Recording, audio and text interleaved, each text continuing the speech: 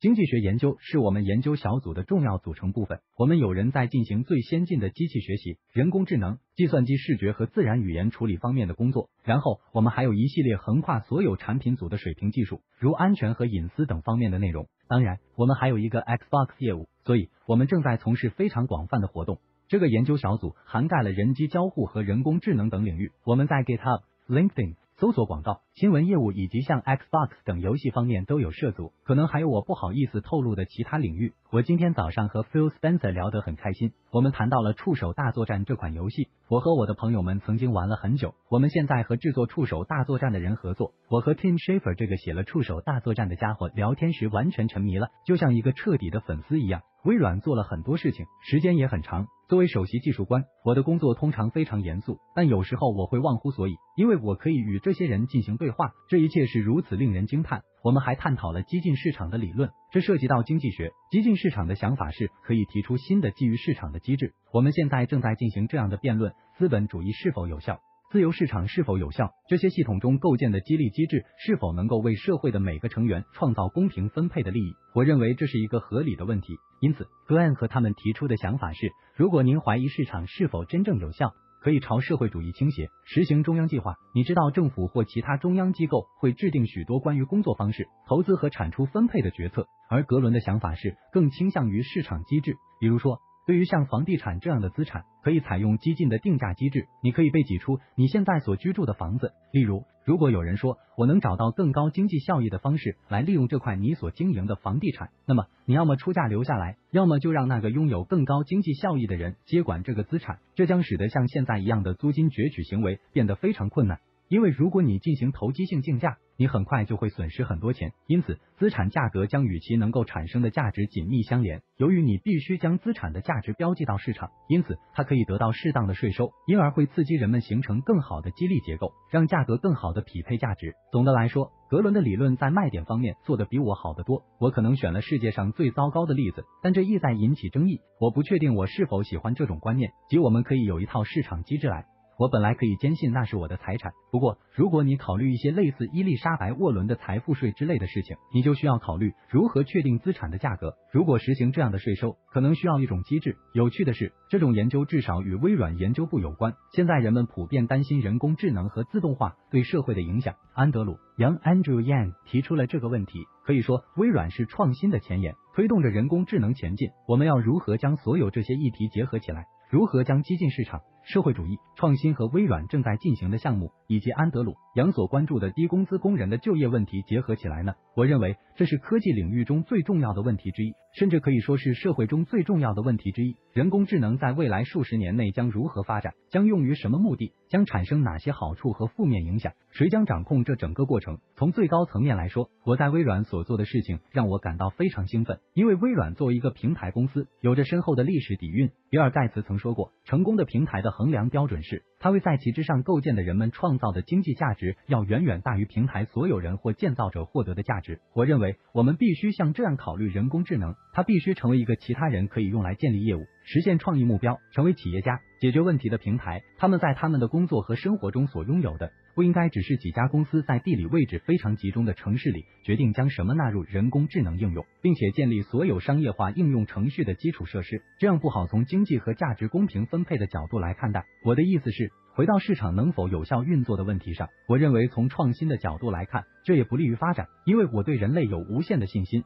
如果你给他们强大的工具，他们一定会去做有趣的事情，而不仅仅是有数万人手中的有趣工具，应该是有数百万人手中有这些工具。因此，我们想一想十八世纪末的蒸汽机，那可能是我们建造的第一个大规模替代人力的机器。当这些设备开始投入使用时，从蒸汽机中获得最多价值的人是拥有资本的人，因为他们能够负担建造他们的成本。他们在周围建造工厂和企业，以及那些知道如何建造和维护他们的专家。然而，随着时间的推移，对这项技术的访问权逐渐民主化。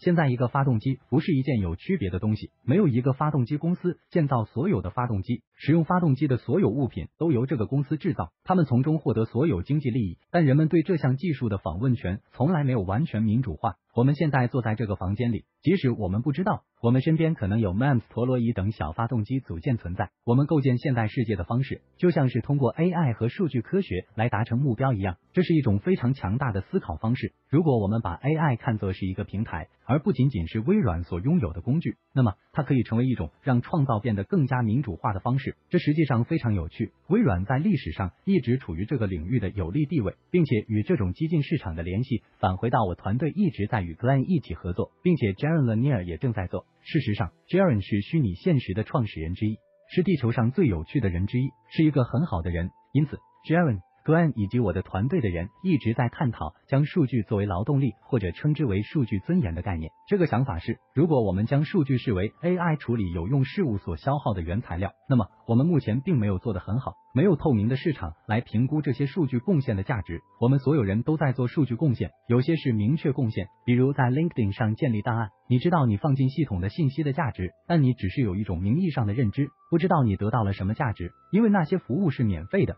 而且很少有城市化的方式说明。此外，通过与日常生活中所有技术进行交互，您还在间接的做出贡献。因此，Glenn、Jaren 和这个数据尊严团队试图找出一套机制，让我们可以评估这些数据贡献的价值，从而创建一个经济体系和一套控制和激励机制，使人们能够获益。现在，许多人通过创建数据来赚取生活的一部分，这在一些明显的方式中可以看出来。比如，有些公司像 Scale AI，在中国还有许多类似的公司，他们基本上是数据标注公司。如果你要进行监督学习，你需要大量标记训练数据，这些工作人员会因为他们对系统贡献的数据而得到报酬。因此，对于他们的贡献，可以比较容易的给出一个数字，因为他们在标记数据时是正确的。但是，你说我们所有人都在以各种方式贡献数据，试图明确的给出一个数字是很有趣的。你认为这是可能的吗？我不知道，这很难，因为你知道。我们在了解我们所需要的透明度方面的信息并不是很多，这非常复杂，因为我们的数据被创造出来，然后被使用，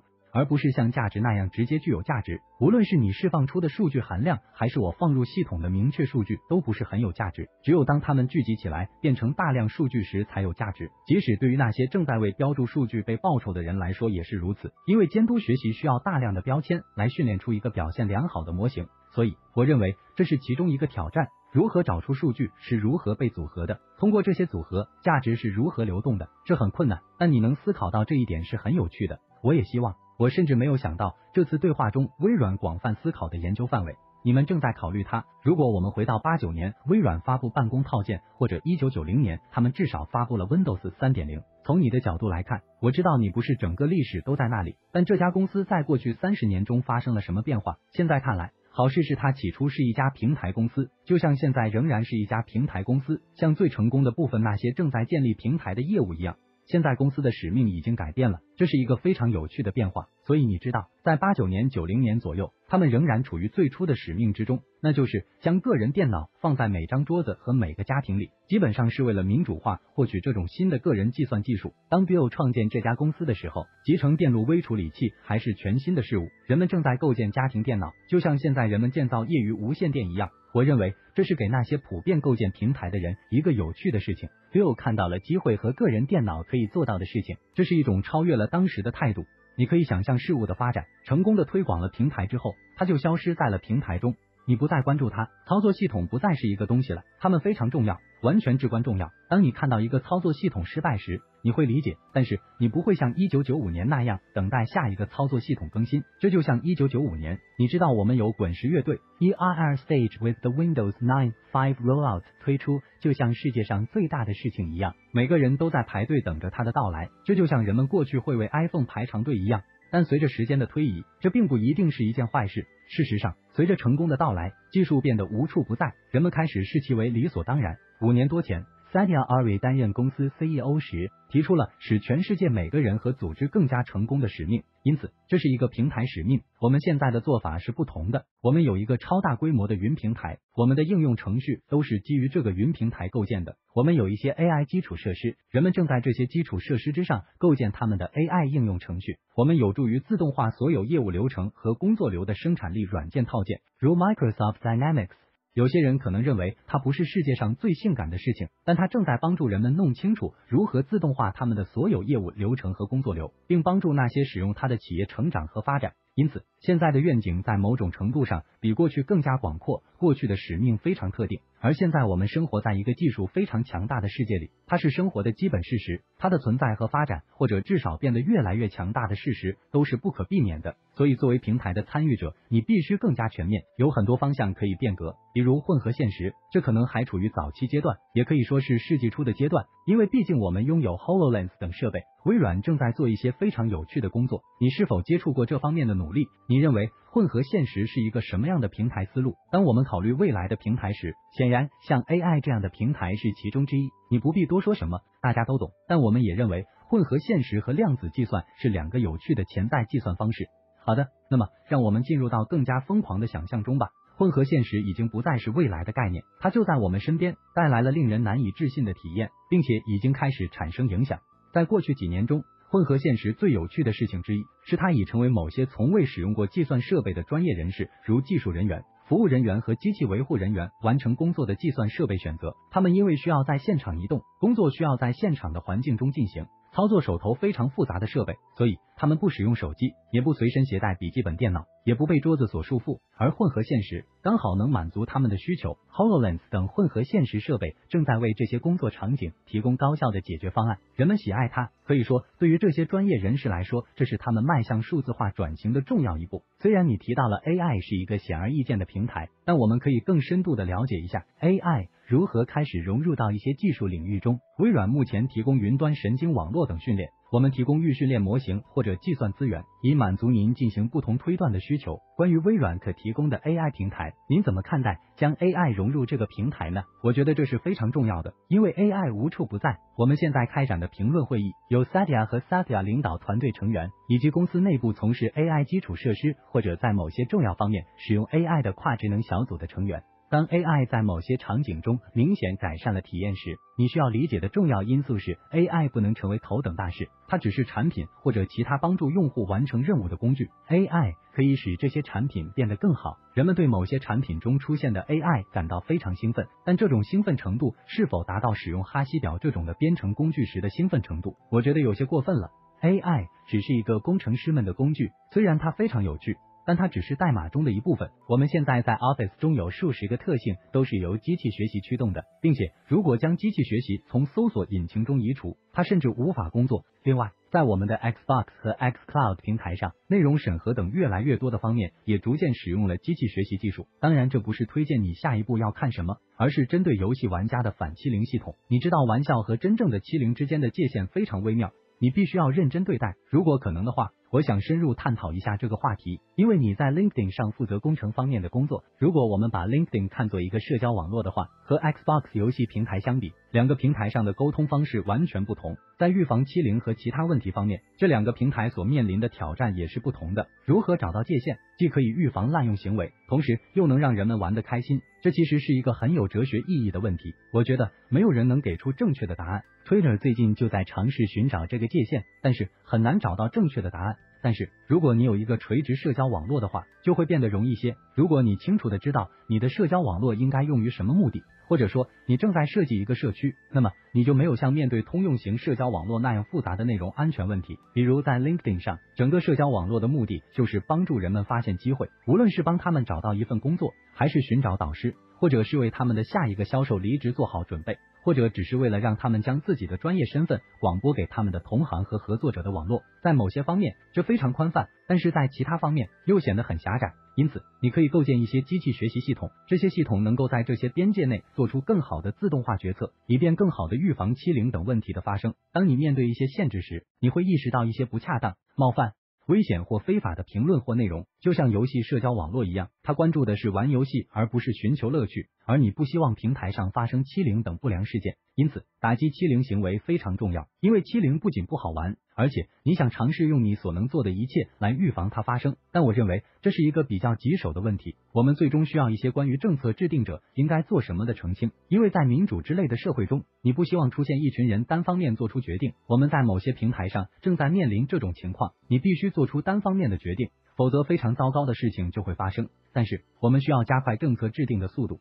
让整个过程成为一个民主的过程，这是非常令人着迷的。因为数字空间与物理空间不同，建立国家和政府的方式也不同，全球范围内的政策制定、欺凌和健康的沟通方式等问题都是开放性的问题，我们需要不断的去解决。例如，虚假新闻、深度伪造和由人类生成的虚假新闻等问题，使这一问题变得更加复杂。我们可以谈论缺陷，比如我认为这是另一个非常有趣的复杂性层面。但如果你只考虑书面文字，我们可以想一想，我们发明了沙草纸，大约三千年前，我们能够把文字写在纸上，然后五百年前，我们发明了印刷机，使得文字更加普及化，并且到十九世纪末，随着胶印机的发明，印刷品真正普及起来，像是爆炸一样的出现。工业革命时期需要受过教育的公民，因此我们迅速扩大了文化素质和文字的快速扩张。但我们在那之前已经有了三千年的时间来找出新闻报道、编辑完整性。科学同行评审等的方法，因此我们建立了所有这些基机制，以尝试过滤技术可能带来的所有噪音，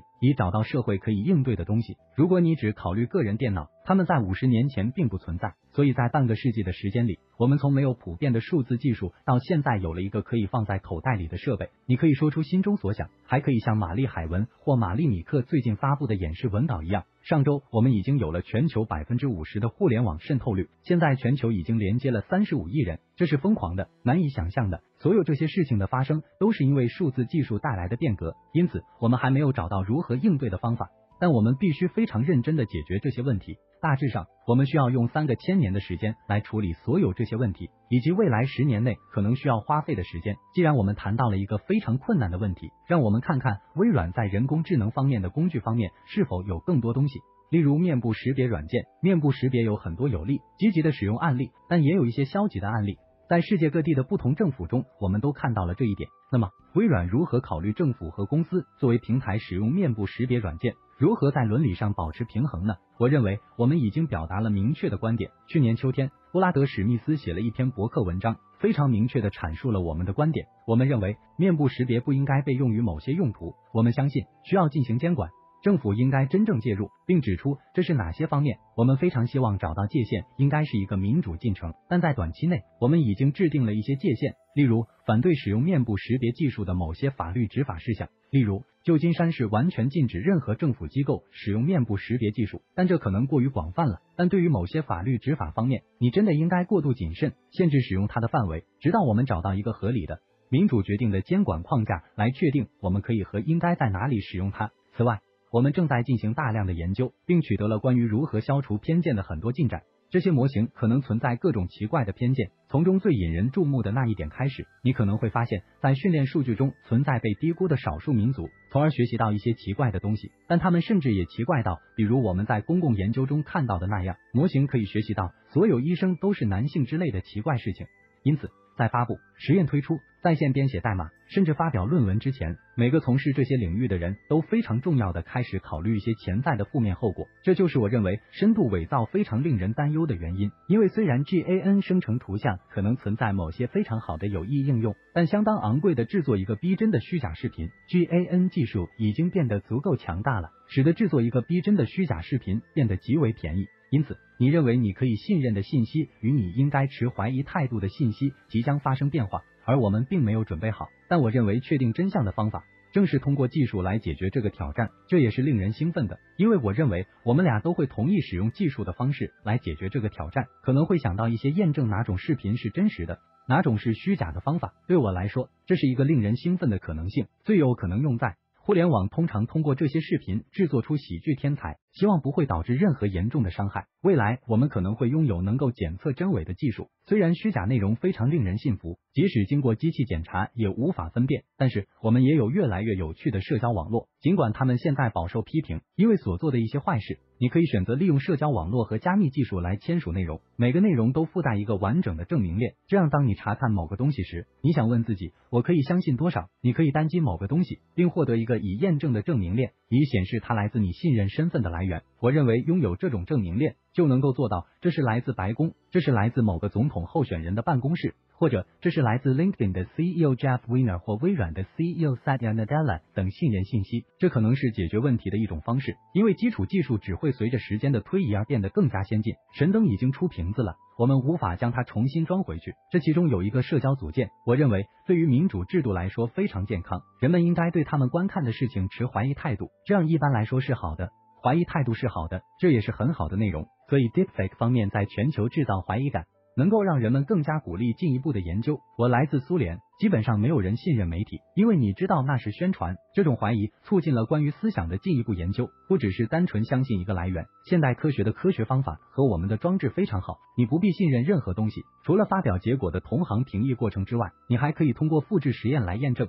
我不知道为什么，我认为很多工程师都是这样的。你们的大脑被怀疑所包围，你不能简单的相信你看到和遇到的一切，你也很好奇要理解下一步是什么。我认为这是一种完全健康的事情。目前我们需要更多这样的做法。我不是一个大商业主，我只是微软产品的一位粉丝。我仍然使用 PowerPoint 来生成大量的图形和图像，对于我来说比 Illustrator 更好用。这非常迷人。我想知道 Windows 和 Office 等产品的未来会是什么样子？你认为会怎么样？我记得很期待 XP 发布时的感觉，但一百一十版本发布时只是觉得是一个很好的改进。在办公软件方面，AI 功能越来越强大。这将带来巨大的生产力提升，产品变得越来越智能，但并不会像 Clippy 那样带来巨大的影响。目前在办公产品中，虽然没有像 Clippy 那样的个人助手，但是 AI 已经在某些方面起到了辅助作用。自动响应功能越来越好用，可以根据您的日历安排会议时间和地点。我们有微软搜索，可以不仅搜索网络上的信息，还可以搜索 Office 三六五租户中的所有信息，甚至其他产品。我们还拥有 Microsoft Graph。它是一个 API 联合体，可以获取您的相关数据。你现在可以跨越所有信息孤岛的广阔领域，就像它们在图表中被编织在一起一样。这种效果正在不断增强，被引入到某些自动响应系统中。你将能够看到系统为你自动检索信息。比如，如果我经常给人发送电子邮件，询问他们是否能找到一篇论文或文件之类的东西，那么系统就可以为你自动完成这项工作。我认为它正在朝着更像完全集成的助手方向发展，但在你看到之前。会有很多步骤，不会像大爆炸那样 Clippy 出现，然后你就拥有了一个完全强大的助手的体现。所以我认为这肯定会实现，而且所有的协作、共同创作等方面都在不断改进。你知道。在微软的办公产品组合中，越来越多的内容是在团队中作为画布进行处理。协作是产品的核心。我们已经构建了一些非常酷的东西，其中一些即将成为开源项目。这些是用于进行合作创作的框架级别的东西。它们是否有云组件，可以通过 Web 进行协作，或者像 Office 三百六十五那样，如果你在使用 Word 时进行协作，仍然会发送文件。